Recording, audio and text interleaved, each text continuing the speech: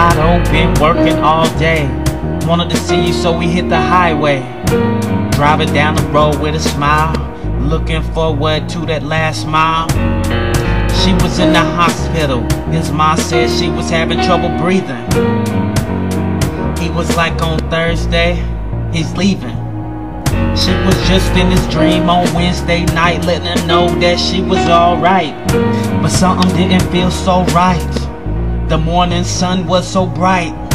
He got up for work, threw off the cover. When work was done, going to see his grandmother. He wanted to make her smile with his jokes, even though she might be choking. Riding down that highway, he felt he could bring some lights. Hoping to see Mama Alice sitting upright. Riding down a busy road into the gentle sunset like a soft, soft, soft champ. Like he had some good news, but the only thing he could bring was the blues. With all of his troubles aside.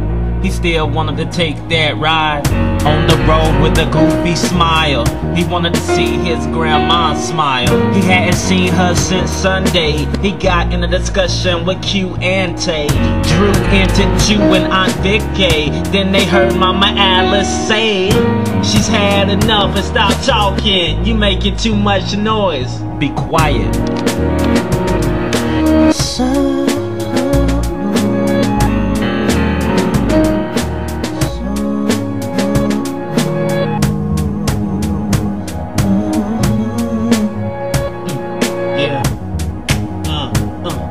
Yeah, yeah.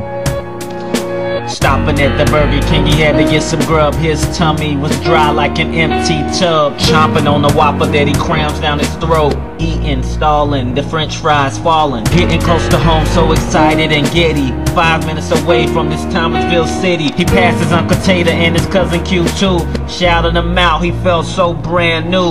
At the hospital, passes older cousin Tevin. Beep the horn at him, but he ghosted the sound. A sight of many sick people hovering around. He made his way towards room before being bound. Stopped in his tracks, seeing Nicole's face. A countenance of sadness that reigned on this race. He saw his cousin too with his head low alone. Caught side to side, what the bleep is going on? Goes into the room where his fam solemnly sits. Telling him that his gramps is fighting for her life. The news dug deep inside like a knife. Irremovable from his throat, so he choked. Couldn't see his gramps cause the doctors were working. The longer they worked and felt, the more he was hurting. A lifetime of memories were moving through his mind, but in this wretched moment, wished he had the power of rewind. Sitting in a chair amongst his scared fam praying. He's never been a man to show his faith, I'm just saying. Hiding behind his skin his tears always been. Drowning in the deep vein ocean of emotion. An outstretched hand reaching through a foamy tide of thoughts that be abysmal, so he reaches for some good news. News from the doc that finally walked in saying they were having trouble detecting a steady pulse, man.